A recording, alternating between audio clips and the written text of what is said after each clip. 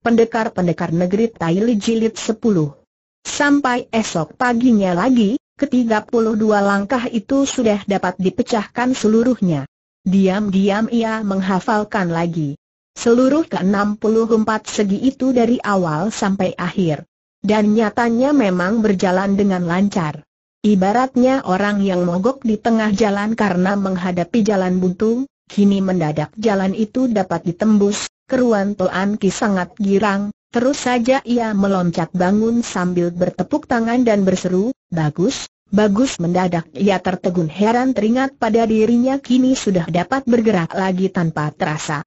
Kejut dan girang Toan Ki tidak terkira, ia khawatir lupa, maka ke-64 gerak langkah itu diulanginya beberapa kali hingga hafal benar-benar, ia melangkah perlahan setindak demi setindak hingga akhirnya tercapai dengan bulat, ia merasa semangatnya tambah kuat dan segar. Meski sudah beberapa hari tidak makan, tapi toh tidak terasa lapar. Ia memberi hormat ke arah patung dan mengucapkan terima kasih, lalu cepat berlari keluar dari gua itu. Dengan mengikuti jalan yang pernah dilaluinya, ia melintasi Sian Jintoh dan kembali ke Buliang San, akhirnya berjumpa pula dengan Bok Wan Jing. Demikianlah ia ceritakan pengalamannya itu kepada ayah dan paman, hanya mengenai patung cantik itu tidak ia ceritakan, ia bilang menemukan dua buah cermin perunggu dan dari tulisan ukiran di atas cermin itulah dapat diperoleh ilmu gerak langkah yang ajaib itu. Ia merasa di hadapan orang sebanyak itu tidak pantas menceritakan dirinya kesengsem atas sebuah patung ayu, apalagi Bok Wan Jing tentu akan marah besar dan bukan mustahil dirinya bisa digampar pula. Selesai itu Anki bercerita, Poting Te lantas berkata, ke-64 gerak langkah itu terang mengandung semacam ilmu wekang yang maha tinggi, coba kau lakukan sekali lagi dari awal sampai akhir. Toan Ki mengiyakan dan segera mulai berjalan selangkah demi selangkah menurut perhitungan Pat Kwa. Poting Te, Toan Ching San dan Kosing Tai adalah ahli lowkang, tapi terhadap keajaiban ilmu langkah itu mereka cuma bisa menangkap satu dua bagian saja, selebihnya mereka pun merasa bingung. Selesai Toan Ki melangkah ke 64 segi itu, persis ia putar suatu lingkaran besar dan tiba kembali di tempat semula. Poting Te sangat girang, serunya, bagus sekali. Pohoat ini tiada bandingannya di seluruh jagat, sungguh beruntung sekali Kiji dapat memperolehnya, harap Kiji melatihnya lebih masak. Sekarang silakan omong dengan ibumu yang baru pulang istana, lalu ia berpaling pada permaisurinya, marilah kita pulang Hong Hong mengiakan sambil berbangkit. Segera Toan Ching Sun dan lain-lain mengantar Hong Te dan Hong Ho keluar istana Tein Lemong. Setelah berada di dalam istana sendiri, segera Toan Ching Sun mengadakan perjamuan untuk menyambut pulangnya Seng istri dan datangnya Bok Wan Jing. Satu meja perjamuan hanya empat orang, yaitu Toan Ching San suami istri, Toan Ki dan Wan Jing, tapi Dayang yang melayani hampir 20 orang banyaknya. Sudah tentu selama hidup Bok Wan Jing belum pernah melihat kemewahan demikian, begitu pula semua masakan yang disuguhkan di situ jangankan mi lihat, bahkan mendengar pun tidak pernah. Tapi demi tampak ayah Bunda Toan Ki memandang dirinya sebagai anggota keluarga sendiri, diam-diam ia pun sangat senang. Melihat sikap ibunya terhadap ayahnya tetap dingin saja, tidak mau minum arak dan tidak makan daging, hanya dahar sedikit sayuran saja, segera Toan Ki menuang satu cawan arak dan berkata, Mak, marilah anak menghormati engkau secawan tidak, aku tidak minum arak, sahut Yau Toan Sian Chu. Tapi Toan Ki menuang lagi secawan dan mengedipi Wan Jing, katanya pula, minumlah mak. Nona Bok juga ingin menyuguh hengka secawan segera Bok Wan Jing mengangkat cawan yang diangsurkan Toan Ki itu dan berdiri. Ye Tuan Siam Chu menjadi tidak enak kalau bersikap dingin terhadap Bok Wan Jing, maka katanya dengan tersenyum, Nona, putraku ini terlalu nakal, ayah bundanya sukar mengendalikan dia, selanjutnya perlu kau bantu mengawasi dia lebih keras, tentu, sahut Wan Jing, kalau dia tidak menurut, kontan jawar dia Ye Tuan Siam Chu mengikik geli oleh jawaban itu sambil melirik Seng suami. Dengan kikuk Toan Ching San tertawa, ujarnya, memang harus begitu lalu Yau Tuan Siam Chu menerima cawan arak suguhan Bok Wan Jing itu. Di bawah sinar lilin yang terang, Wan Jing melihat lengan nyonya pangeran itu putih halus sebagai salju. Tiba-tiba dapat dilihatnya pula di punggung tangan dekat pergelangan terdapat sebuah andeng-andeng, tembong, merah sebesar mata uang. Seketika badan Wan Jing tergetar, cepat ia tanya dengan suara gemetar, apa, apakah engkau ber, bernama si Pet Hang dari mana kau tahu namaku? sahut Ye Autoan Siam Chu dengan tertawa. Engkau, benar-benar si Pet Hang Wan Jing menegas pula dengan terputus-putus. Bukankah dahulu engkau memakai senjata, senjata pecut melihat sikap gadis itu rada aneh, namun Ia Utoan Siam Chu alias Sipet Hang masih belum curiga, sahutnya pula dengan tersenyum, sungguh Kiji sangat baik padamu, sampai nama kecilku juga diberitahukan padamu, mendadak Bok Wan Jing berteriak, Budi Guru Maha Tinggi, perintah guru tidak boleh dibangkang berbareng tangannya bergerak, Dua batang panah beracun lantas menyambar ke dada Yau Tuan Sian Chu. Dalam perjamuan yang diliputi suasana riang gembira di antara anggota keluarga sendiri itu, sudah tentu siapa pun tidak menyangka bakal terjadi penyerangan mendadak dari Bok Wan Jing. Biarpun ilmu silat Yau Toan Sian Chu jauh lebih tinggi daripada Bok Wan Jing, tapi jarak kedua orang sangat dekat, pula terjadinya secara tiba-tiba, Tampaknya kedua panah itu segera akan menancap di dada sasarannya. Toan Ching San duduk di sebelah kiri Bok Wan Jing, begitu melihat gelagat jelek, cepat jarinya menutup, tapi yang Chiang lihai itu juga cuma membuat Bok Wan Jing tak bisa berkutik, sedang kedua panah masih tetap menyambar ke depan. Sebaliknya Toan Ki duduk di sisi kanan, sudah beberapa kali ia pernah menyaksikan Wok Wan Jeng menyerang dengan panahnya yang berbisa maut itu. Maka begitu tampak gadis itu ayun tangannya, segera ia tahu bakal celaka. Ia tak mahir ilmu silat, tapi dengan Leng Po Poh yang cepat luar biasa, tahu-tahu ia menyelinap mengadang di depan sang ibu hingga kedua panah berbisa tepat menancap di dadanya. Berbareng itu Bok Wan Jing sendiri merasa badan kaku dan tak bisa berkutik karena ditutup Toan Ching San. Betapa cepatnya Tin Lemong, menyusul sekaligus ia tutup pula beberapa kali di sekitar luka Toan Ki yang terpanah itu ditutupnya dan agar racun tidak menyerang lebih dalam. Habis itu, ia putar balik dan memuntir tangan Bok Wan Jing hingga terlepas dari ruasnya, dengan demikian supaya gadis itu tak bisa melepaskan panah pula. Lalu ia bebaskan hiatu yang lekas. Keluarkan obat penawarnya. Membentak.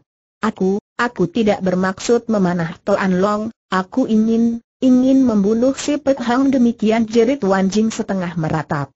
Dengan menahan sakit lengannya yang keselo, cepat ia keluarkan dua botol kecil obat penawar racun, katanya, yang merah diminum, yang putih bubuhkan pada lukanya, lekas, harus lekas. Kalau terlambat tidak keburu tertolong lagi Ya Toan Siam Chu melotot sekali kepada gadis itu, melihat begitu perhatiannya terhadap putranya yang sungguh-sungguh timbul dari lubuk hatinya, diam-diam ia dapat menduga sebab musabab kejadian ini. Segera ia rebut obat penawar itu dan mengobati Toan Ki menurut petunjuk Bok Wan Jing tadi. Terima kasih kepada langit dan bumi bahwa, bahwa jiwanya dapat diselamatkan, kalau, kalau tidak, demikian Bok Wan Jing tak sanggup meneruskan lagi ratapannya. Sementara itu setelah terpanah, Toan Ki lantas jatuh pingsan di pangkuan Seng Ibu. Suami istri Teo An Ching San terus memerhatikan luka Toan Ki, melihat darah yang mengalir keluar dari luka itu dari hitam sudah berubah ungu, lalu menjadi merah kembali, mereka baru merasa lega karena tahu jiwa Seng Putra sudah dapat diselamatkan. Segera Yau Tuan Siam Chu pondong putranya ke dalam kamar, lalu keluar lagi ke ruangan makan itu. Tidak apa-apa bukan tanya Toan Ching San pada Seng istri. Tapi Yau Tuan Siam Chu tak menjawabnya, sebaliknya lantas berkata kepada Bok Wan Jing, pergilah kau dan katakan pada Siu Lo Chu Chin Ang Bian bahwa Mendengar disebutnya Siu Lo Chu Chin Ang Bian itu, seketika air muka Toan Ching San berubah hebat, tanyanya dengan tergegap, kau, kau bilang apa tapi Yau Tuan Siam Chu tak menggubrisnya, ia tetap berkata kepada Wan Jing, katakanlah padanya, jika dia menginginkan jiwaku, pakailah care, terbuka dan terang-terangan, tapi kalau main licik begini, tentu akan dibuat tertawaan orang saja, aku tidak kenal siapa gerangan Siulo Chin Ang Bian jawab Wan Jing keras-keras. Habis, siapa yang menyuruhmu membunuh diriku tanya Suan Chu. Guruku, sahut Wan Jing. Guruku menyuruhku membunuh dua orang. Yang seorang adalah engkau. Beliau menerangkan padaku bahwa pada tanganmu ada tembong merah besar, namanya Si Pet Hang, parasnya cantik, bersenjata pecut. Tapi dia tidak bilang engkau berdandan sebagai Teo Koh, imam wanita. Kulihat engkau memakai kebut pertapaan, bernama Yau Tuan Siam Chu pula, sungguh tidak nyana bahwa engkaulah orang yang harus kubunuh menurut perintah guruku, lebih-lebih tak kusangka bahwa engkau adalah ibu Teo An Long, berkata sampai di sini, tak tertahan lagi air matanya bercucuran. Dan orang kedua yang ingin dibunuh gurumu bukankah juga seorang wanita cantik? Tangan kanannya kehilangan tiga jari tanya si Pet Hang alias Yau Tuan Siam Chu. Benar, seruan Jing heran. Dari mana engkau tahu? Wanita itu katanya Shikeng, tiba-tiba pipi si Pet Hang basah oleh air mata yang berlinang-linang. Ia pikir sejenak, lalu berkata kepada Seng suami, Ching San, harap kau rawat Kiji baik-baik.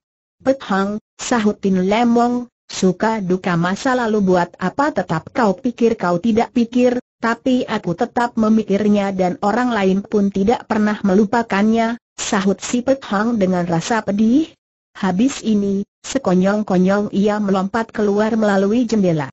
Cepat Toan Ching San hendak menarik lengan bajunya, namun si Pet Hang sempat angkat tangannya terus dan mengebas ke muka Seng suami, Untung Tin Lemong sempat mengegoskan kepalanya, Brett, hanya kain lengan baju si Pet Hang kena dirobeknya. Apa kau ajak berkelahi seru si Pet Hang dengan gusar sambil menoleh. Pet Hang, kau, baru sekian Toan Ching San menjawab, segera si Pet Hang melesat pergi dengan cepat. Dari jauh terdengar bentakan Leng Jian Li yang keras, siapa itu? Lalu terdengar si Pet Hang menjawab, aku terdengar Leng Jian Li berseru gugup, ah, Kiranya Ong Awe habis itu, lalu sunyi senyap tiada suara lagi. Ching San termangu-mangu berdiri di tempatnya, akhirnya ia menghela napas dan memandang Bok Wan Jing yang sementara itu tampak pucat pasti menahan sakit, tapi toh tidak melarikan diri. Ia mendekati gadis itu dan pegang lengannya, krak, ia betulkan lagi ruas tulang yang sengaja dipuntir ke selot tadi. Aku telah panah istrinya, entah siksaan keji apa yang hendak dilakukannya atas diriku demikian Wan Jing membatin. Tak terduga Toan Ching San hanya diam saja, dengan lesu kemudian ia berduduk di atas kursinya, perlahan ia angkat cawan araknya tadi dan diminum habis sekaligus. Pandangannya terpaku ke arah perginya si Pet Hang tadi dengan termangu-mangu. Sejenak kemudian, ia menuang arak dan ditenggak habis lagi. Dengan Carol menuang sendiri dan minum sendiri, tidak lama sudah 13 cawan dikeringkannya, kalau poci arak yang satu sudah kering, lantas menuang dari poci yang lain. Menuangnya sangat lambat, tapi meneguknya sangat cepat. Makin lama Bok Wan Jeng menjadi semakin kesal, saking tak tahan, akhirnya ia berteriak keras-keras, Care bagaimana hendak siksa aku, lekas kau lakukan baru sekarang Toan Ching San mendengak ke arahnya serta memandangnya tanpa berkedip. Selang agak lama, ia berkata, sungguh mirip.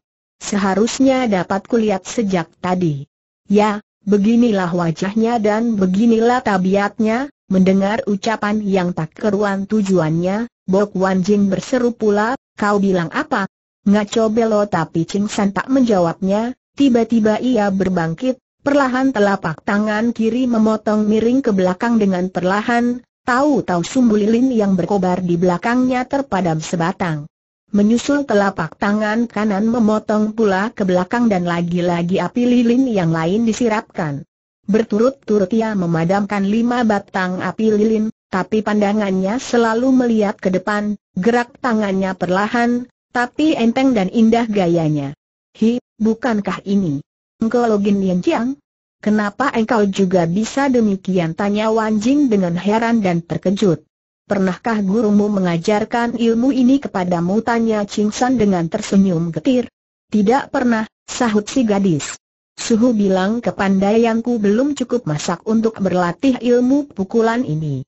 Pula, Suhu menyatakan ilmu pukulannya ini pasti takkan diturunkan pada orang lain, kelak akan dibawa serta ke liang kubur, oh, jadi dia bilang takkan mengajarkannya pada orang lain dan akan dibawa serta ke liang kubur kelak Ching San menegas.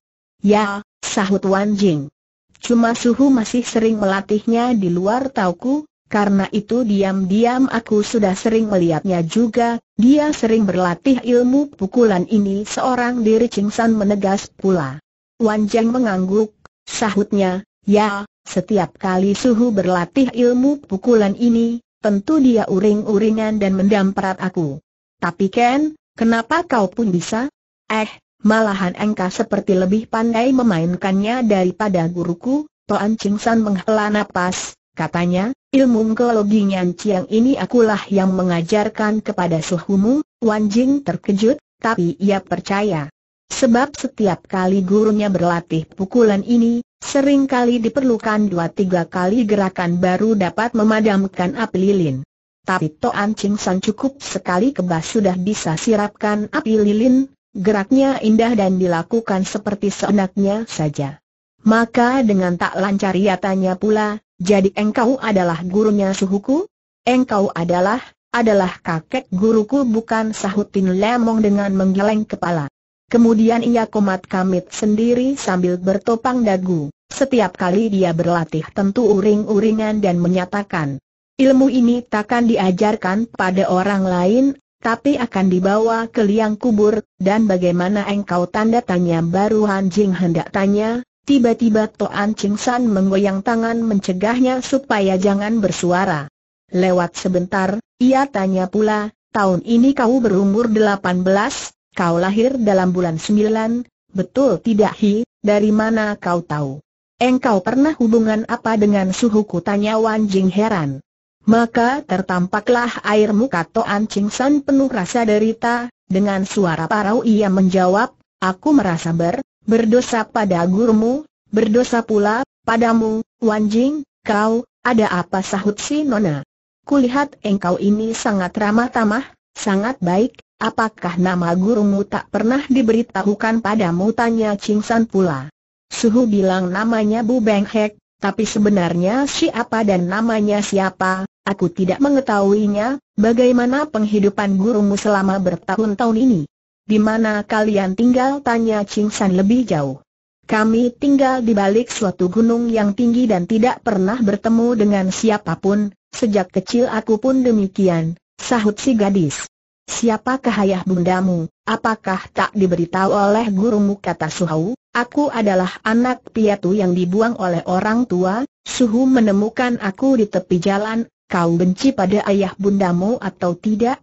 Bok Wan Jing tidak lantas menjawab, ia menggigit-gigit kuku jarinya, berpikir sambil miringkan kepala. Melihat sikap demikian itu, tak tertahan lagi hati Teo Ancing Sun menjadi pilu dan meneteskan air mata. Wan Jing tambah heran melihat pangeran itu menangis, tanyanya, Hi, kenapa engkau menangis lekas Tin Lemong berpaling dan mengusap air matanya, lalu paksakan diri tertawa dan menjawab, ah, masakah aku menangis? Karena pengaruh arak, Mataku menjadi pedas sudah tentu si gadis tak percaya, katanya, terang kulihat engkau menangis. Biasanya cuma wanita yang menangis, jadi laki-laki juga bisa menangis? Aku tak pernah melihat orang laki-laki menangis, kecuali anak kecil, melihat gadis itu sama sekali tidak mengerti peradaban orang hidup, Tinu Lemong menjadi lebih terharu, katanya kemudian, Wanjing, harus kujaga baik-baik dirimu barulah dapat sekadar mengganti kesalahanku yang lalu, adakah sesuatu cita-citamu? Coba katakan padaku, pasti akan kulaksanakan sepenuh tenaga bagimu. Sebenarnya hati Bok Wan Jing kebat-kebit karena habis memanah Nyonya Toan, tapi demi mendengar ucapan Toan Ching San ini, ia menjadi girang, serunya, jadi engkau tidak marah lagi karena aku memanah istrimu justru seperti apa yang kau katakan tadi, budi guru maha tinggi, perintah guru sukar dibantah. Urusan orang tua masa dahulu tiada sangkut pautnya dengan dirimu, maka aku takkan marah padamu. Cuma lain kali jangan lagi kurang sopan kepada istriku, tapi kelak bila ditanya suhuku lantas bagaimana kata Wan Jing. Bawalah aku menemui gurumu, biar ku bicara padanya, kata Ching San. Bagus seruan Jing dengan girang sambil bertepuk tangan. Tapi segera ia berkata pula dengan berkerut kening, namun guruku sering bilang bahwa laki-laki di dunia ini semuanya berhati palsu. Selamanya dia tidak sudi menemui orang laki-laki, sekilas Ching San mengunjuk rasa heran, tanyanya cepat, gurumu selamanya tidak mau bertemu dengan orang laki-laki ya, untuk keperluan sehari-hari, Suhu selalu suruh pelayan perempuan tua yang melakukannya, sahut Wan Jing. Satu kali, pelayan tua itu sakit dan suruh putranya mewakili belanja keperluan dapur, Suhu menjadi marah dan suruh dia taruh jauh-jauh di luar pintu dan melarangnya masuk ke rumah, Ai, Ang Bian. Buat apa engkau menyiksa diri begitu demikian gumam Ching San sambil menghela napas. Kau sebut Ang Bian lagi, Sebenarnya siapakah gerangan Angbian itu tanya Wan Jing. Urusan ini tak dapat membohongimu selamanya, biarlah ku katakan padamu. Gurumu asalnya bernama Chin Angbian, orang memberi julukan si Ulotu, si hantu ayu, padanya, oh, kiranya begitu.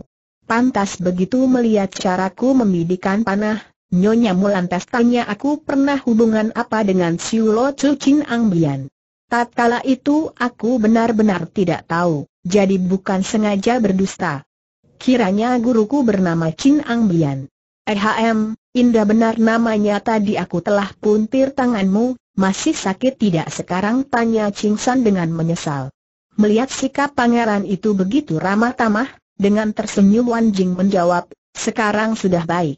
Marilah kita pergi menjenguknya. Ku khawatir racun panahku itu belum lagi bersih dari lukanya. Baiklah, sahut Ching San sambil berbangkit. Lalu katanya pula, kau mempunyai keinginan apa?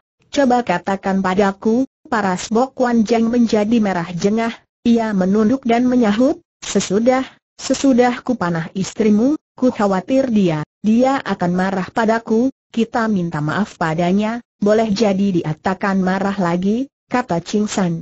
Sebenarnya aku tidak pernah minta maaf pada siapa pun juga.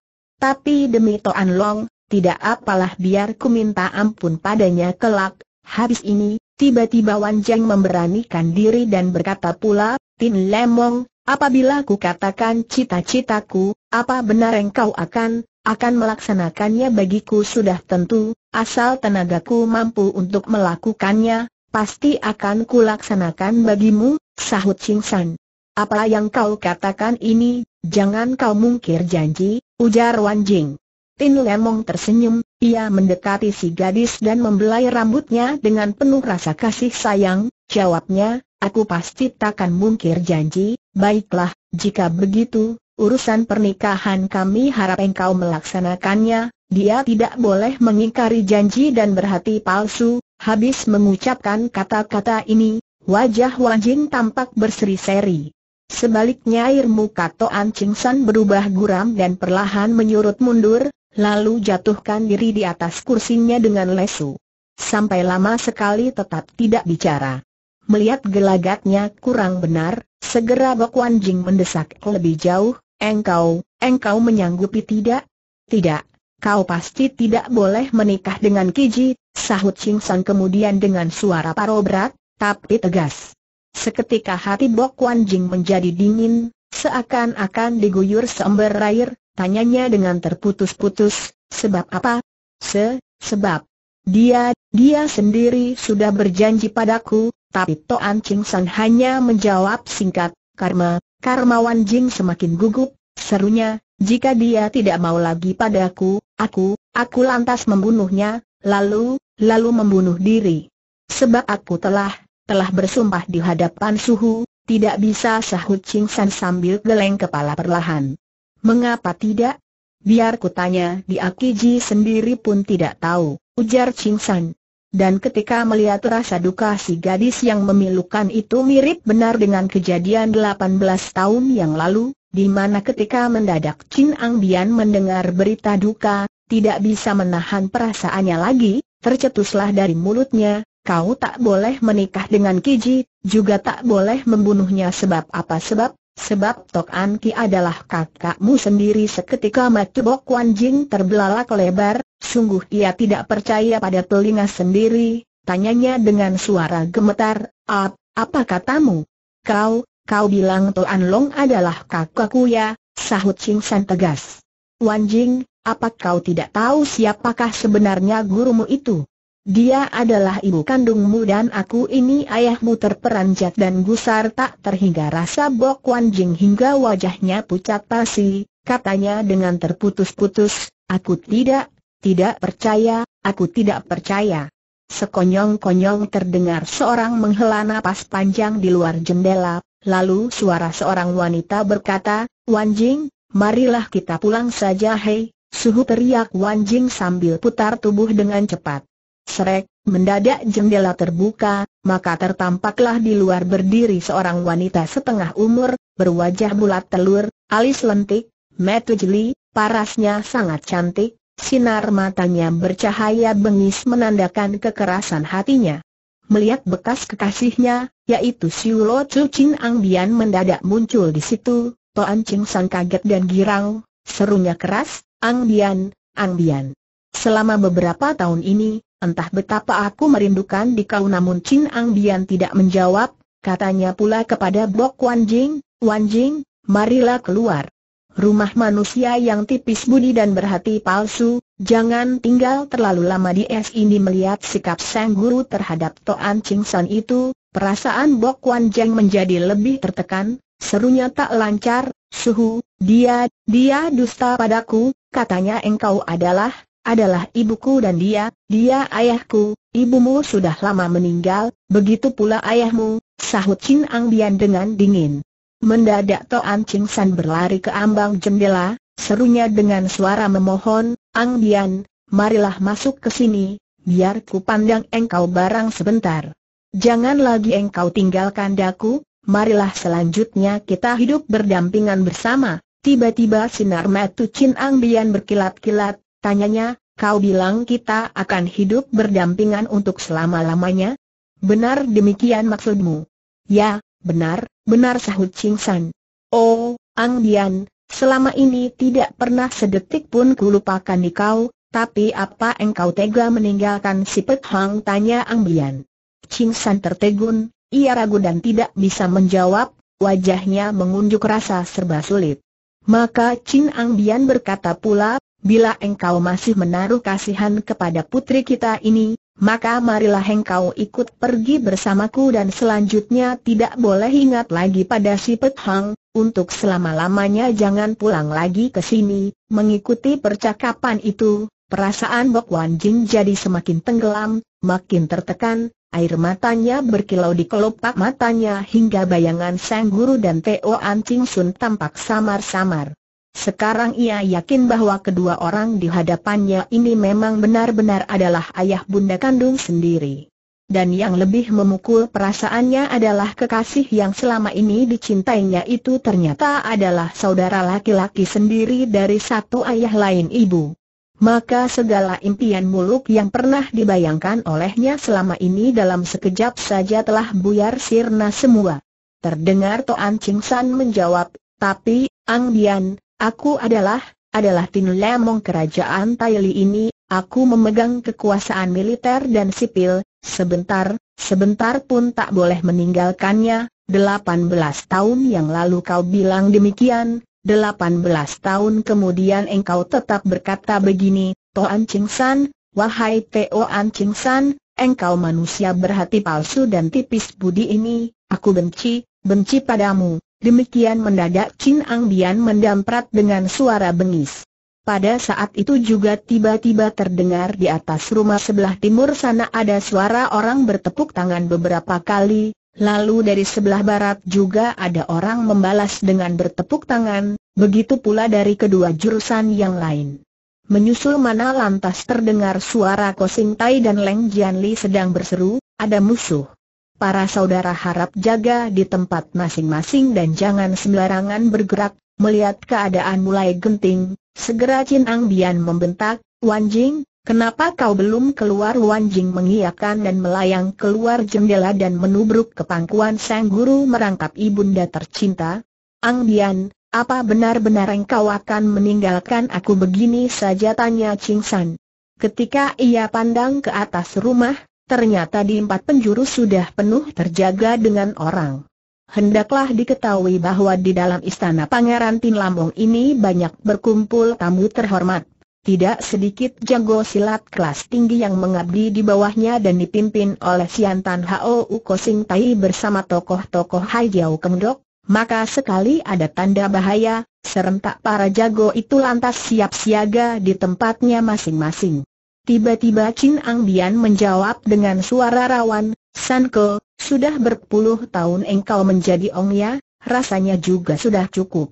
Marilah ikut padaku, selanjutnya aku akan menurut pada segala keinginan dan perintahmu, sekecap pun aku takkan memakimu dan sedikit pun aku takkan memukulmu. Lihatlah putri kita yang cantik ini, masakah tidak disayang olehmu tergerak hati Toan Ching San, serunya tanpa pikir, baik, aku ikut pergi bersamamu. Girang sekali Chin Ang Bian, ia ulurkan tangan kanan menantikan jabatan tangan Toan Ching San. Tapi mendadak terdengar suara seorang wanita sedang berkata dengan dingin di belakang, Cici, kembali engkau diakali lagi. Paling-paling dia cuma mempermainkan engkau beberapa hari saja, lalu pulang ke sini pula untuk menjadi Ong Ya terguncang perasaan Toan Ching San demi mengenali suara itu, serunya, Hi, Apo, jadi engkau juga datang waktu Han Jing berpaling, ia lihat orang yang bicara itu adalah seorang wanita berbaju sutra hijau, ternyata adalah Chiong Hujain dari Banjiat Kok. Di belakangnya terdapat pula tiga orang, yaitu Yak Jinio dan In Tiong Ho, seorang lagi adalah Lam He yang sudah pergi tadi, tahu-tahu kini kembali lagi. Bahkan yang lebih mengejutkan Bok Wan Jing adalah Lam He itu memondong pula seorang yang ternyata adalah Toan Ki. Hi, Toan Long, bagaimana engkau seruan Jing khawatir? Tadinya Toan Ki rebah di tempat tidurnya dalam keadaan terluka, dalam keadaan sadar tak sadar, Tiba-tiba Lam Hai Goksin melompat masuk ke kamarnya serta memondongnya lari. Saking kagetnya pikiran Toan Ki menjadi sadar malah, sebab itulah ia dapat mendengar sebagian percakapan antara ayahnya dan Bok Wan Jing serta Chin Ang Bian. Meski tidak seluruhnya dapat didengar, namun ia sudah dapat meraba sebagian besar duduknya perkara.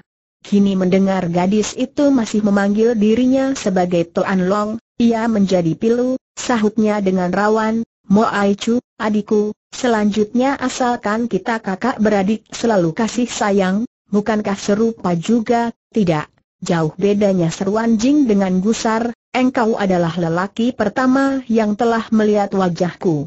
Tapi bila dia ingat bahwa pemuda itu adalah saudara satu ayah dengan dirinya, betapapun kakak dan adik tidak mungkin boleh kawin. Bila dalam hal ini kekuatan manusia yang coba merintangi pernikahan mereka, tentu ia bisa binasakan orang itu dengan panah beracunnya. Tapi kini yang menjadi pengalang mereka adalah takdir ilahi, biarpun setinggi langit ilmu silatnya atau mempunyai kekuasaan juga tidak mampu menghapusnya. Seketika itu perasaan Bok Wan Jing serasa hampa. Dalam keadaan putus asa, tanpa pikir ia melompat keluar kamar terus berlari pergi. Wan Jing, Wan Jing. Hendak ke manakah seru Chin Ang Bian khawatir. Namun Wan Jing tidak gubris lagi pada sang guru merangkap ibunda tersayang itu, serunya, engkau bikin susah padaku, aku takkan peduli padamu lagi, berbareng itu, larinya bertambah cepat. Siapa itu tiba-tiba di depan mengadang seorang pengawal istana. Tanpa menjawab lagi Wok Wan Jing terus bidikan sebatang panah hingga mengenai tenggorokan pengawal itu dan roboh terjungkal.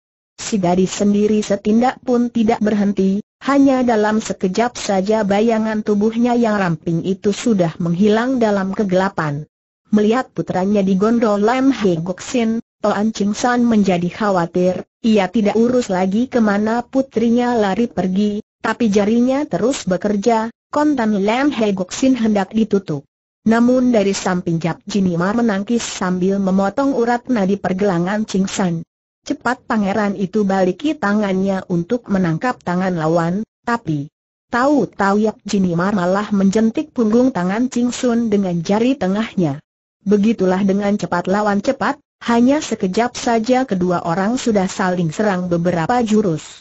Diam-diam Toan Ching San terkesiap, sungguh hebat perempuan ini, Toan Ching San tiba-tiba Chin Ang Bian berseru sambil lulur tangan mengancam di atas kepala Toan Ki. Kau masih inginkan jiwa putramu atau tidak? Ching San terkejut, cepat ia berhenti menyerang lagi. Ia cukup kenal wataknya Chin Ang Bian yang aneh, bencinya kepada si Pet Hang, yaitu istrinya sendiri. Sekarang ini boleh dikata merasuk tulang, maka bukan mustahil bila jiwa Teo An Ki benar ditamatkan olehnya. Cepat ia menjawab, Ang Bian, luka anakku sangat parah karena dipanah oleh putrimu. Dia sudah diberi obat penawar, takkan mati, biarlah sementara ini aku membawanya pergi, demikian kata Chin Ang Bian pula. Dan kau boleh pilih, Inginkan putramu atau lebih suka tetap menjadi Ong Ya? Hahaha tiba-tiba Lam He Goksin terbahak-bahak. Bocah ini akhirnya toh harus juga mengangkat guru padaku Angbian, sahut Ching Sang kemudian, biarlah ku terima segala permintaanmu, asal engkau bebaskan putraku. Sebenarnya cinta Chin Angbian kepada Toan Ching San belum pernah tawar biarpun sudah lewat 18 tahun lamanya. Maka demi mendengar ucapan Toan Ching San yang penuh rasa khawatir itu, hatinya menjadi lemas, sahutnya, apa Ben, benar engkau akan menurut segala permintaanku ya, ya seru Ching San tanpa pikir. Cici, jangan kau percaya lagi kepada laki-laki yang berhati palsu ini, tiba-tiba Chong Hujen menyela, gak sian sing, marilah kita pergi. Tanpa bicara lagi Lam He Goksin melompat ke atas, Sekali membalik badan di udara, ia tancap kaki di atas rumah seberang sana, menyusul terdengar suara gedebuk dua kali, Yap Jinio dan In Tiong Ho masing-masing telah merobohkan dua jago pengawal istana yang berusaha hendak merintangi Lem He Goksin. Toan Ching San tahu meski mengerahkan antero kekuatan penjaga istana belum tentu kawanan musuh itu bisa dicegat. Namun keselamatan putranya sendiri terancam, Betapapun tidak boleh bertindak gegabah, tindakan kekerasan bukan tindakan yang baik, apalagi dua wanita di hadapannya ini sangat luar biasa hubungannya dengan dirinya. Maka terpaksa ia menyahut dengan halus, Apo, Ken, kenapa engkau juga ikut-ikut memusuhi aku? Aku adalah istri Chong Ban Siu, jangan sembarangan kau panggil, kau seru Chong Hujin. Apo, selama ini, Sungguh aku sangat merindukan di kau, demikian Toan Ching San merayu pula. Ciong Hujin menjadi terharu, matanya merah basah, sikapnya berubah lunak seketika, sahutnya rawan, tempo hari, begitu kuliah Toan Kongcu, segera aku, aku tahu dia adalah anakmu, Sumoai, sekarang kau sendiri kena dibujuk olehnya seru Chin Ang Bian. Ya, baiklah, Mari kita pergi sahut Chiong Hujin sambil tarik tangan Ang Bian. Lalu ia berpaling kepada Ching San, bila engkau menginginkan putramu dengan baik-baik, bawalah si Pek Hang sambil menyembah tiap langkah pergi ke Banjiat Kok. Banjiat Kok Ching San menegas. Sementara itu dilihatnya Lam Hei Gok Sin sudah makin jauh berlari pergi dengan menggondol Toan Ki. Kosing Tai. Leng Jianli dan lain-lain tampak sedang mengudak dan mencegat dari berbagai jurusan. Ching San menghela napas, serunya kemudian, Ko Te, biarkan mereka pergi sahut Ko Sing Tai, tapi Xiao Ong ya, biarlah, perlahan kita cari akal lain, kata Ching San. Sembari bicara, ia terus memburu Ko Sing Tai dan berkata pula, musuh sudah pergi, semua orang supaya kembali ke tempatnya masing-masing, habis itu, Mendadak ia mi lompat ke samping Chiong Hujin, katanya dengan suara halus, Apo, baik-baikkah engkau selama ini sudah tentu, apa yang kurang baik sahut Chiong Hujin ketus.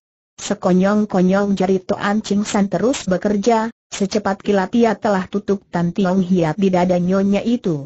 dalam keadaan tak berjaga-jaga, kontan Chiong Hujin roboh. Cepat Ching San tahan tubuh nyonya itu dengan tangan kiri sambil pura-pura kaget dan berseru, Hi, Apo, Ken, kenapa engkau keruan Chin Ang Bian ikut terkejut? Tanpa curiga ia lantas mendekat dan tanya dengan khawatir, ada apa? Sumuai dan tatkala Ang Bian berjongkok hendak memeriksa keadaan Chiong Hujin, secepat kilat jari Toan Ching San bekerja lagi, tepat hiat Su Chin Ang Bian kena ditutupnya juga. Dalam keadaan tertutup kaku, Chin Ang Bian dan Chong Hujan dipeluk oleh kedua belah tangan Teo An Ching San, mereka sama melototi Pangeran Bangor itu, dalam hati masing-masing sama berpikir, Ai, kembali aku terperdaya lagi. Kenapa aku begini sembrono, dulu sudah pernah masuk perangkapnya, mengapa sekarang aku tertipu pula? Dalam pada itu Teo An Ching San telah berkata pada Kosing Tai, Kohiante, lukamu belum sembuh, harap engkau pulang ke kamarmu untuk mengasuh saja. Jian Li, kau pimpin kawan yang lain berjaga di sekitar sini, dengan hormat Kosing Tai dan Leng Jian Li mengiakan sambil membungkuk badan. Lalu Ching San kempit kedua wanita itu kembali ke ruangan tadi dan suruh Koki menyediakan hidangan pula, perjamuan segera diperbarui lagi. Setelah selesai menyediakan santapan dan parada yang sudah mengundurkan diri, Ching San tutup pula Yatsu bagian kaki kedua tawanannya supaya mereka tidak bisa berjalan, lalu melepaskan Yatsu yang ditutupnya semula. Segera Chin Ang Bian berteriak sesudah bisa bersuara, Toan Ching San, sampai sekarang engkau masih ingin menghina kami berdua Toan Ching San berputar ke hadapan kedua wanita itu, ia memberi hormat sambil berkata, maafkan aku berbuat kasar, terimalah hormatku ini, Siapa ingin kau beri hormat seru Chin Ang Bian dengan gusar. Lekas lepaskan kami kita bertiga sudah belasan tahun tidak berjumpa, kebetulan hari ini bisa berkumpul lagi, banyak sekali ingin kubicarakan pada kalian, demikian sahut Ching San. Ang Bian, ternyata watakmu masih keras begini. Dan kau, Apo, makin lama engkau makin ayu, kenapa sedikit pun tidak kentara tambah tua lekas kau lepaskan aku, teriak Ang Bian dengan gusar sebelum Chiong Hujan berkata, kalau apa makin tua makin cantik, jadi aku makin tua makin jelek bukan? Ayo lepaskan aku, buat apa kau tahan seorang nenek jelek seperti aku? Ang Bian, kata Ching San dengan gegetun, cobalah engkau berkaca, bila engkau seorang nenek kriut dan jelek, maka sastrawan yang biasa melukiskan kecantikan wanita perlu ganti ungkapan menjadi sejelek bidadari, karena geli, tak tertahan Chin Ang Bian mengikik tawa, karena kaki tak bisa bergerak, terpaksa ia menggerutu, huh, siapa yang ajak berguyon denganmu? Cengar-cengir, masa begitulah kelakuan seorang pangeran melihat sikap orang yang bersungut tapi menawan hati itu, hati Ching San terguncang, terkenang olehnya cinta kasih masa lampau, tak tertahan lagi ia mendekati Chin Ang Bian, ngok, ia cium sekali pipi wanita itu. Meski kakinya tak bisa bergerak, tapi tubuh bagian atas Chin Ang Bian dapat bergerak dengan bebas, lok, kontan ia persen sekali tamparan di muka Pangeran Bangor itu. Kalau mau menghindar sebenarnya tidak susah bagi Toan Ching San, tapi ia sengaja menerima pukulan itu, bahkan ia terus berbisik di telinga orang, mati digampar Siu Lotu. Jadi setan juga rela seketika badan Chin Ang Bian tergetar mendengar itu, air matanya bercucuran, ia menangis keras-keras, ucapnya dengan parau, kembali, kembali engkau gunakan kata-kata demikian lagi, kiranya pada masa dulu Chin Ang Bian pernah malang melintang di kalangan Kangou dengan sepasang senjatanya yang berupa golok Siu Lotu, karena itu juga ia mendapat julukan dari nama senjatanya itu. Ketika kesuciannya dirusak oleh Toan Ching San, kejadian itu adalah mirip seperti sekarang, yaitu dicium dulu, lalu ia tampar pipi pangeran itu, lalu ia lantas dirayu dengan bisikan mati di bawah Siu Lotu, jadi setan pun rela. Kalimat itu entah sudah beratus ribu kali menginyang di telinganya selama belasan tahun ini. Kini, mendadak. Didengarnya pula dari mulut Toan Ching San, Sungguh ia merasa sangat bahagia dengan aneka macam perasaan yang bercampur aduk. Suci, orang ini paling pandai merayu, pintar bermulut manis, tapi jangan kau percaya lagi padanya, tiba-tiba Chiong Hujin memperingatkan Seng Suci atau kakak seperguruan. Ya, benar, aku tidak mau percaya lagi pada bujukanmu demikian kata Ang Bian yang ditujukan kepada Toan Ching San. Tapi dengan cengar-cengir Toan Ching San lantas mendekati Chiong Hujin, katanya, Apo, kalau aku juga ngok pipimu, boleh tidak keruan Chiong Hujin rada kebuakan dan khawatir, dalam keadaan tak bisa berjalan, kalau orang benar-benar berbuat seperti apa yang dikatakan, kan bisa runyam. Cepat ia berseru, tidak, jangan kurang ajar. Aku adalah wanita bersuami, sekali-kali tidak boleh kucemarkan nama baik suamiku, asal kau berani menyentuh badanku, Segera akan kugigit lidah sendiri biar mati di hadapanmu, melihat kata-kata itu diucapkan dengan nekat dan sungguh-sungguh, Ching San tidak berani sembrono lagi, tanyanya kemudian, Apo, bagaimanakah macam suamimu itu suamiku sangat jelek, tabiatnya juga aneh, ilmu silatnya jauh di bawahmu, orangnya tidak segagah engkau pula, lebih-lebih tiada punya pangkat dan kedudukan seperti dirimu. Namun demikian, dengan hati suci murni ia mencintai aku, maka aku pun membalasnya dengan sama baiknya. Bila aku berbuat sedikit menyeleweng, itu berarti aku berdosa padanya, biarlah aku terkutuk, untuk selama-lamanya tak bisa menjelma kembali, mau tak mau Toan Ching San menaruh hormat kepada sikap tegas Nyonya Kiong itu, maka ia tidak berani mengungkat. Ungkat peristiwa asmara masa lalu lagi. Katanya kemudian, kalian telah menculik putraku, sebenarnya apa maksud tujuan kalian? Apa, Banjiat kok yang kau katakan itu letaknya di mana jangan katanya padanya tiba-tiba seorang berkata di luar jendela dengan suara serak. Keruan Teo Ancing San terkejut. Ia sudah perintahkan Leng Jianli dan kawan-kawannya berjaga di luar, kenapa diam-diam ada orang asing menyusup sampai di luar kamar situ? Maka terdengar Chiong Hujin buka suara dengan menarik muka, lukamu belum sembuh, buat apa engkau menyusul kemari lalu terdengar pula suara seorang wanita sedang berkata, silakan masuk, Chiong Siansing mendengar suara itu, Toan Ching San terlebih kejut hingga air mukanya merah jengah. Dan begitu kerai tersingkap, masuklah seorang wanita yang bukan lain adalah Yau Toan Sian Chu, di belakangnya menyusul seorang laki-laki bermuka sangat jelek, panjang mukanya itu hingga mirip muka kuda. Itulah dia muka yang istimewa dari Chiong Ban Siu, Kok Chu atau pemilik lembah Ban Jiat Kok. Chiong Hujin menjadi heran demi tampak Seng suami mendadak juga datang ke situ, ternyata datangnya bersama Nyonya Toan alias Sipet Hang itu. Kiranya sesudah lama Bok Wan Jing berkelana dan belum pulang, Chin Ang Bian menjadi khawatir, segera ia keluar mencarinya ke tempat Seng Sumoai, yaitu Chong Hujan dari Banjiat Kok. Kemudian mereka berdua lantas keluar pula mencari jejak Wan Jing. Di tengah jalan mereka telah bertemu dengan Yap Jinio, Lam He Goksin dan In Tiong Ho. Ang Bian sudah kenal dengan Yap Jinio, sebab di antara perguruan mereka ada sedikit hubungan, cuma biasanya tidak pernah saling bergaul. Ketika mendengar Bok Wan Jing telah ikut pergi ke Taili, segera Sam Oke itu ikut menyusul ke situ. Sebaliknya Chong Ban Siu yang sangat mencintai Seng istri itu, rasa cemburunya juga sangat besar, sejak Seng istri pergi, ia menjadi tidak enak makan dan sukar tidur, tanpa peduli lagi bahwa lukanya belum sembuh, serta tak pikir bahwa selama ini dirinya pura-pura mati dan mengasingkan diri di lembah sunyi itu, segera ia berangkat menyusul Seng istri. Sampai di luar istana pangeran, kebetulan ia pergoki si Pek Hang sedang berlari keluar dengan marah-marah, begitu kepergok, segera kedua orang saling gebrak.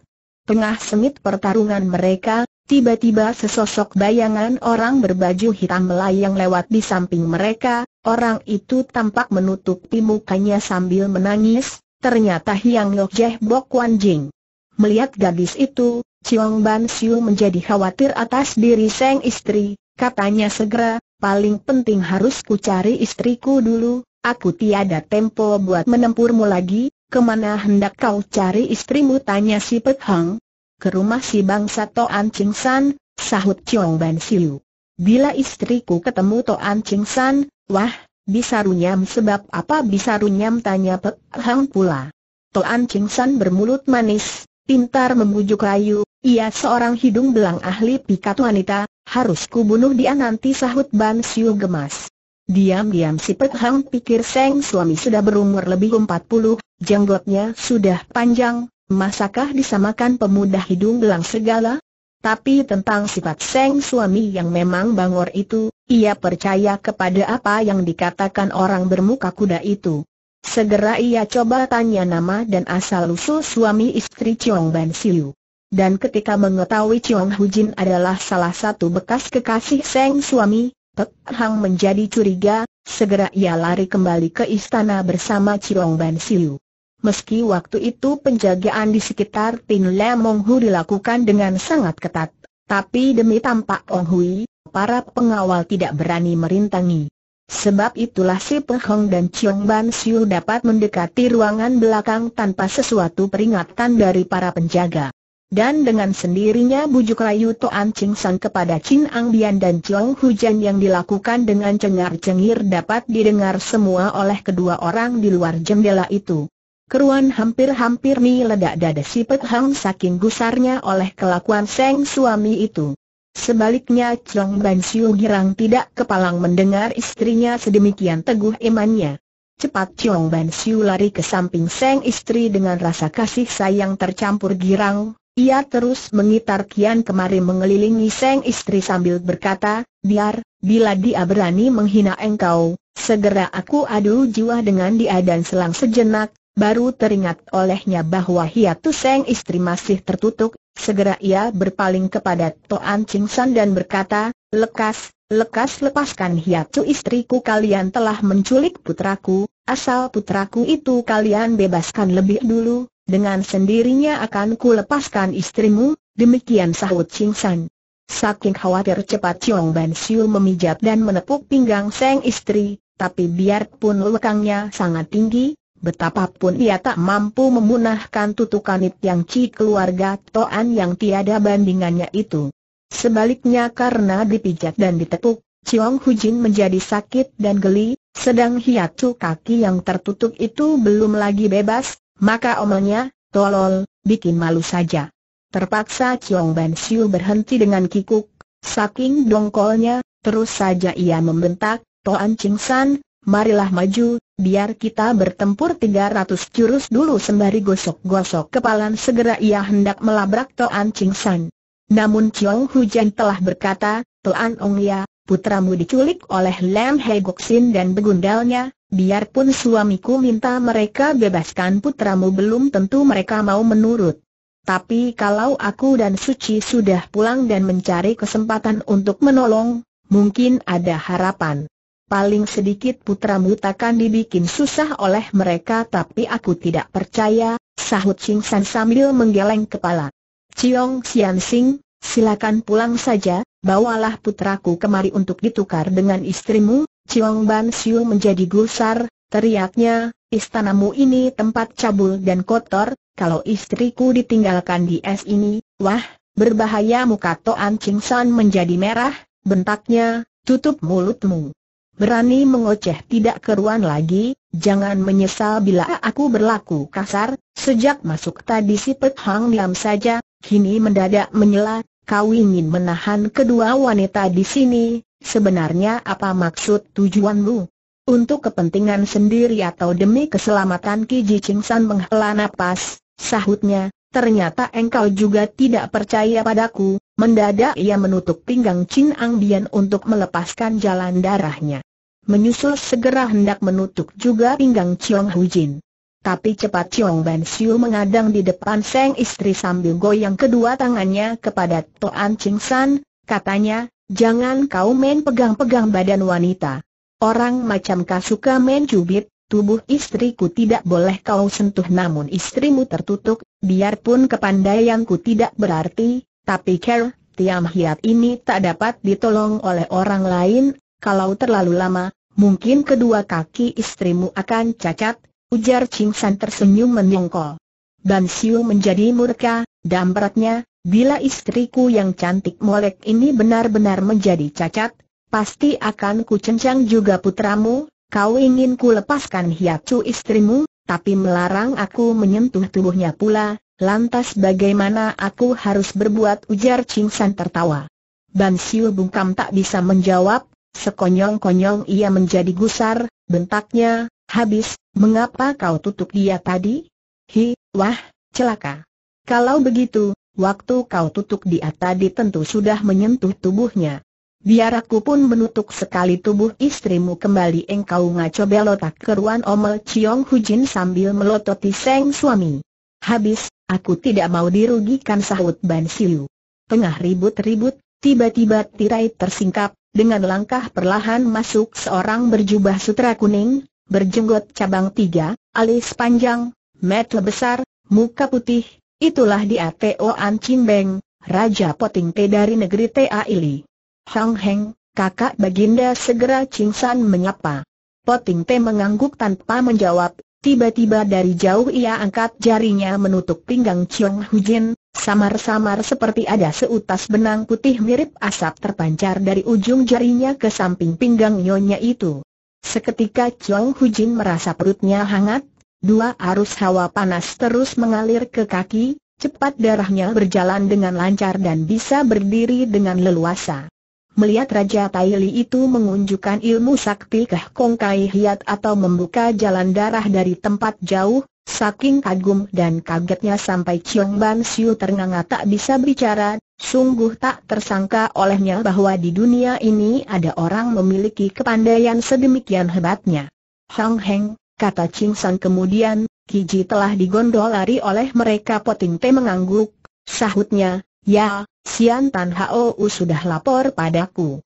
Adik San, kalau keturunan keluarga Toan kita ada yang jatuh di tangan musuh, tentu orang tua atau pamannya yang harus pergi menolongnya, kita jangan menahan orang lain sebagai sandera, muka Toan Ching San menjadi merah, Sahutnya membenarkan ucapan kakak bagindanya itu. Ucapan Po Ting Te itu sangat gagah penuh harga diri, yaitu merasa merosotkan pamer keluarga Toan bila adik pangeran itu menahan musuh sebagai jaminan keselamatan putranya. Dan sesudah merandek sejenak, kemudian katanya pula, sekarang silakan kalian pergi saja. Dalam tiga hari, keluarga Toan tentu ada orang akan mengunjungi Banjiat Kok, tapi tempat banjiat kok kami itu sangat dirahasiakan, kalian belum tentu mampu menemukannya, untuk mana perlukah ku beritahukan tempatnya tanya Ciong Ban Siu. Dalam hati ia berharap Poting Te akan minta diberitahukan tempatnya itu, dan kalau lawan tanya, ia justru tidak mau menerangkan. Tak tersangka Poting Te tidak gubris pertanyaannya itu, sekali mengeras lengan baju, katanya pula, Antarkan kamu keluar Chiong Ban Siu sendiri berjuluk Kian Jin Ciluset atau melihat orang lantas membunuh, suatu tanda sifatnya yang kejam tak kenal ampun, dengan sendirinya wataknya sangat keras, terutama pada waktu sebelum dia mengasingkan diri. Namanya sangat ditakuti oleh orang Kangou umumnya, asal mendengar kedatangannya, setiap orang tentu kebat-kebit khawatir dibunuh olehnya. Sebab itulah, maka si Kong Hian, itu ketua dari Sin Long Pang menjadi sangat ketakutan juga ketika mengetahui bahwa Chiong Ling adalah putri Chiong Ban Siu. Tapi berdiri di depan Po Ting Te yang berwibawa itu, aneh juga, gembong iblis yang tak kenal apa artinya takut itu menjadi jari dengan sendirinya dan bingung. Begitu mendengar Po Ting Te bilang antar tamu pergi, segera ia berseru, baik, marilah kita pergi.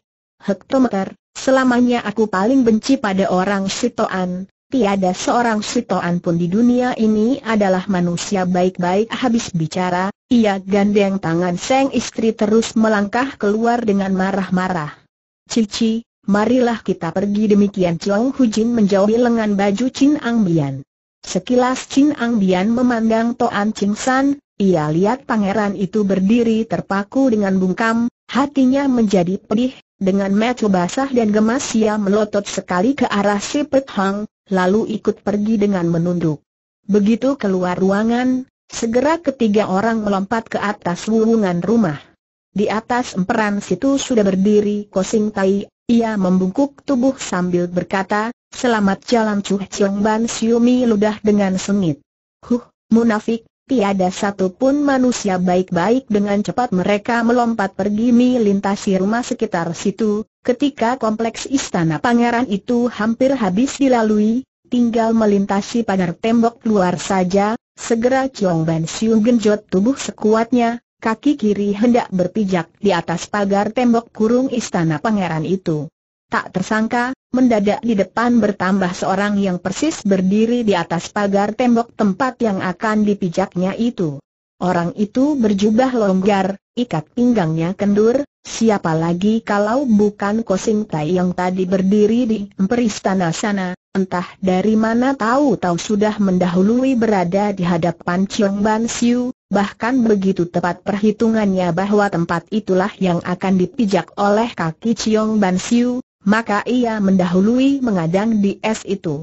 Dalam keadaan tubuh terapung di udara, untuk mundur lagi terang tidak mungkin, membelok ke jurusan lain juga tak bisa, keruan Ciong Ban Siu kelabakan, terpaksa ia sodok kedua tangannya ke depan sambil membentak, Minggir dengan tenaga sodokan kedua tangan yang bisa menghancurkan batu itu, Ban Siu taksir bila lawan menangkis, tentu lawan itu akan terpental ke bawah. Andaikan tenaga lawan sama kuatnya dengan dirinya, paling sedikit juga dapat meminjam tenaga aduan itu untuk bergeser ke atas pagar tembok di sampingnya. Sungguh tak tersangka, ketika kedua tangan hampir menyodok dada orang, Sekonyong-konyong Kosing Tai doyongkan tubuh ke belakang, dengan separuh tubuh terapung Kosing Tai gunakan gerakan tiat pankio atau jembatan papan baja, hanya kedua kakinya yang menancap di atas tembok.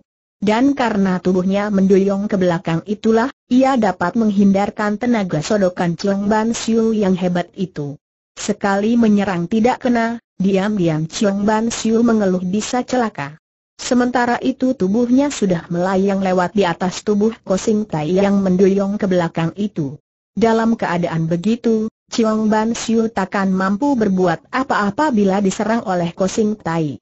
Untung baginya sama sekali Kosing Tai tidak melontarkan serangan hingga dengan selamat Chiong Ban Siu dapat menancapkan kakinya di tanah. Menyusul mana Chin Ang Bian dan Chiong Hujan juga melompat keluar. Sementara itu Kosing Tai sudah berdiri tegak lagi di atas pagar tembok dengan gagah, katanya, maaf tidak mengantar lebih jauh Ban Siu menjengek, mendadak celananya melorot ke bawah, hampir ia kedodoran di depan umum, untung cepat ia sempat menariknya ke atas lagi. Baru sekarang ia tahu bahwa tali kolornya telah putus.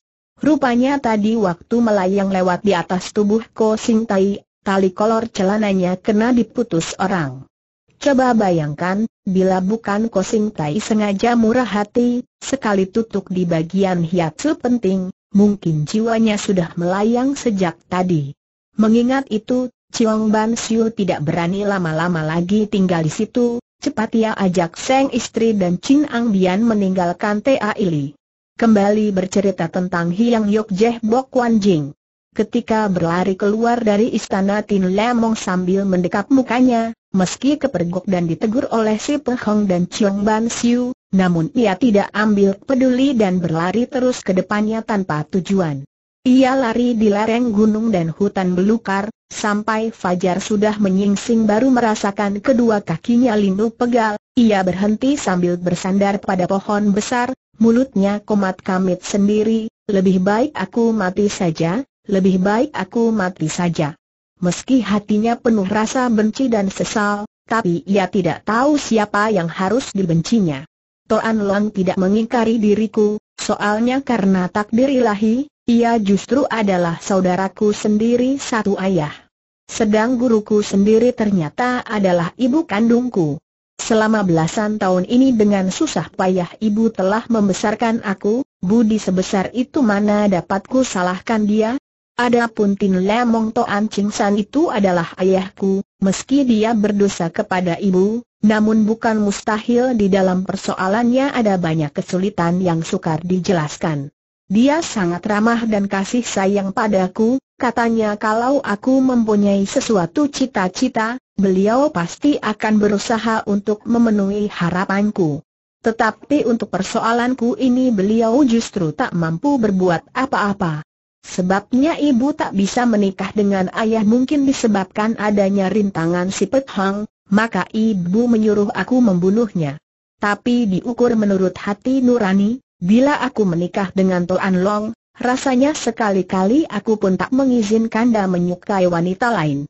Apalagi si Pek Hang sudah menjadi padri, dapat diduga karena ayah juga berbuat salah padanya dan melukai hatinya. Aku telah panah dia dua kali, tapi putra satu-satunya juga terluka, namun dia tidak dendam padaku, tampaknya dia toh bukan seorang wanita yang kejam dan galak, begitulah makin dipikir hati Bok Wan Jing makin berduka, gumamnya, Sejak kini aku akan melupakan Toan Ki, aku takkan pikirkan dia lagi namun omong memang gampang, untuk melupakan begitu saja masakah begitu mudah? Setiap detik bayangan Toan Ki yang tampan itu selalu timbul dalam benaknya. Kemudian dia ya coba menghibur diri sendiri, biarlah untuk selanjutnya aku anggap dia sebagai kakak. Asalnya aku adalah anak yatim piatu, kini ayah sudah punya, Ibu pun sudah ada. Malah bertambah pula seorang saudara tua, kurang apa lagi? Bukankah aku sebenarnya harus bergirang, sungguh tolol aku ini akan tetapi, seorang kalau terlibat dalam jaring asmara, makin meronta semakin ruwet dan sukar melepaskan diri. Kalau dia sabar menanti selama tujuh hari tujuh malam di puncak Buliang San, nyata akar cintanya sudah bersemi secara mendalam dan susah dihapus lagi. Ia dengar suara gemuruh ombak yang mendebur semakin keras, dalam keadaan putus asa, timbul juga maksudnya membunuh diri. Ia mendekati arah suara ombak itu, setelah melintasi sebuah bukit, akhirnya tertampak ombak sungai Lanjong mengalir cepat di bawah tebing sungai itu. Ia menghela napas dan berkata seorang diri, Ai, bila aku menceburkan diri ke dalam sungai, rasa kesalku tentu takkan terasa lagi, Perlahan ia menyusuri tepi sungai.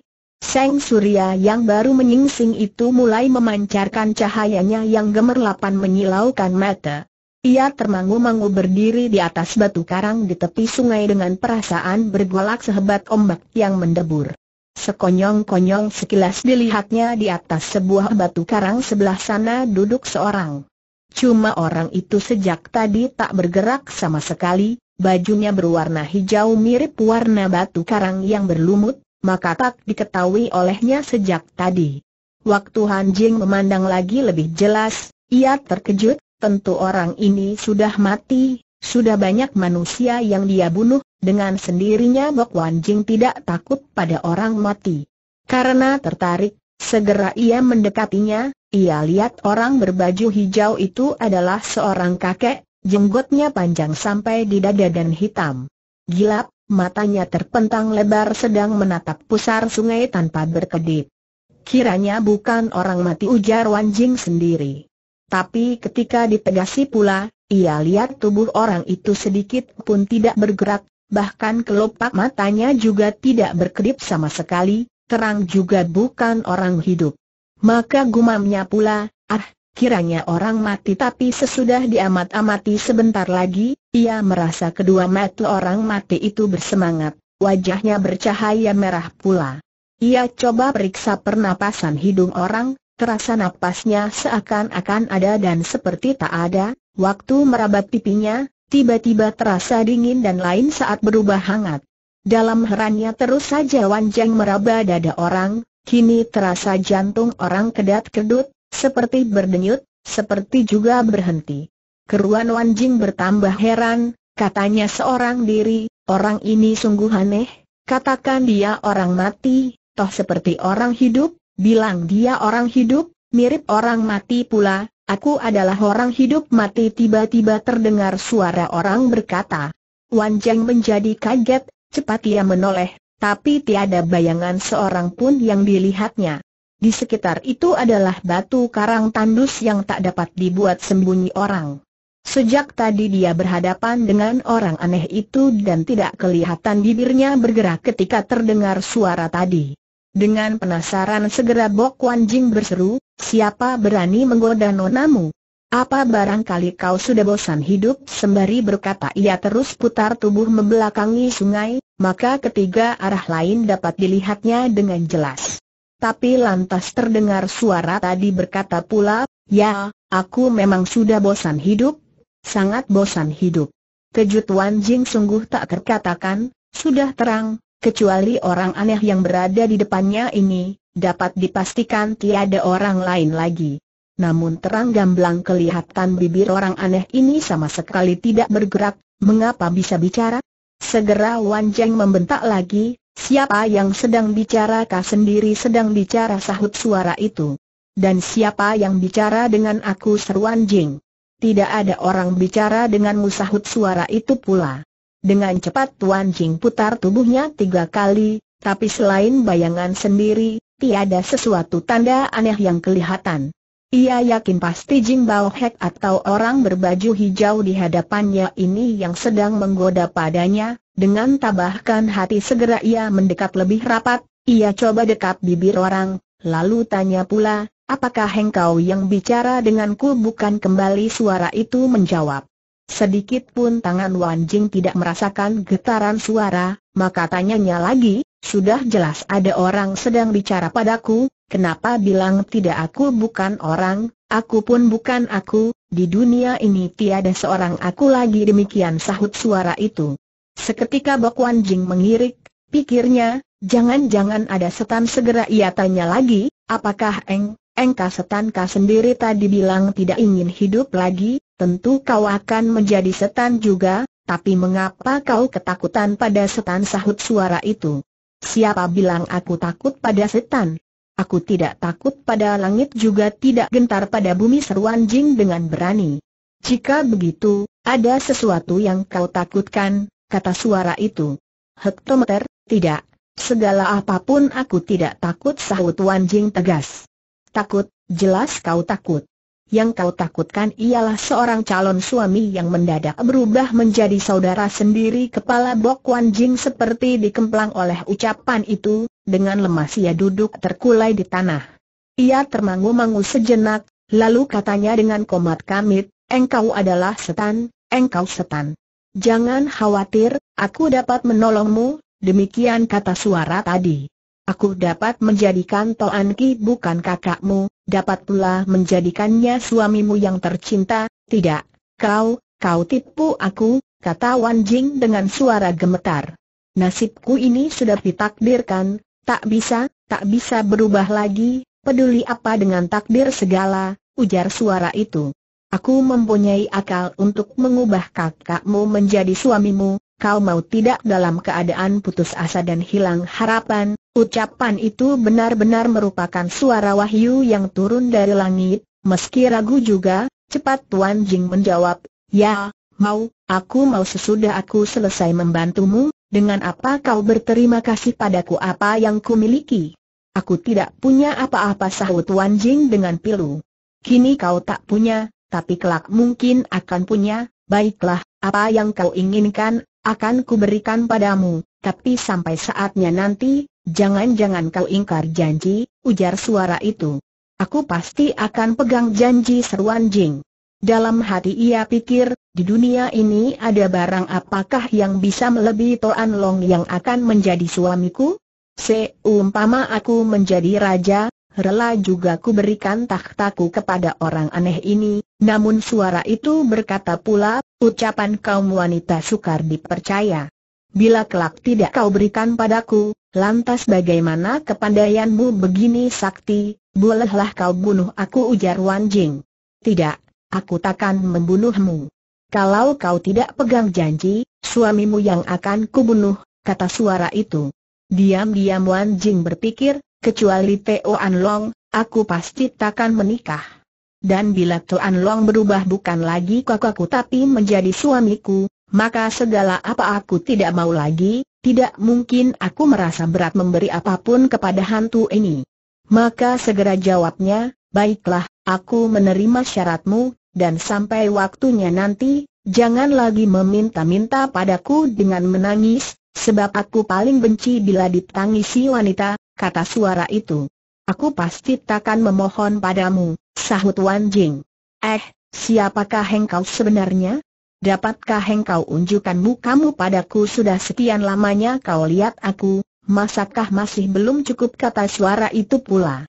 Sejak mula sampai, sekarang nada suara itu selalu sama saja, tidak keras, tidak rendah, datar tanpa irama pula.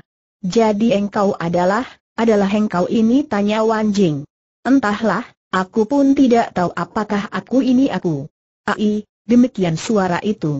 Helaan napas paling akhir itu telah menandakan rasa masgul hatinya yang tak terkatakan. Keruan Bok Wan Jing bertambah sangsi, tapi kini ia sudah yakin benar bahwa suara itu memang keluar dari kakek berbaju hijau di depannya ini.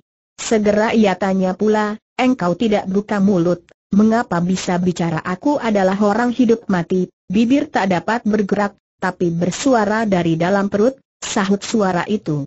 Dasar sifat kanak-kanak Bok Wan Jin belum hilang sama sekali, kalau tadi ia sangat berduka dan putus asa, adalah sekarang demi mendengar ada orang mampu bicara tanpa buka mulut dan gerak bibirnya, ia menjadi sangat ketarik, segera ia tanya pula, engkau bicara dengan perut? Sungguh aneh kau tidak percaya sahut Jing Bao Hek itu. Cobalah kau pegang perutku, tentu kau akan percaya nanti, tanpa pikir Wan Jing terus ulur tangan untuk meraba perut orang. Kau merasakan getaran perutku atau tidak? Tanya Jing Bau Hek.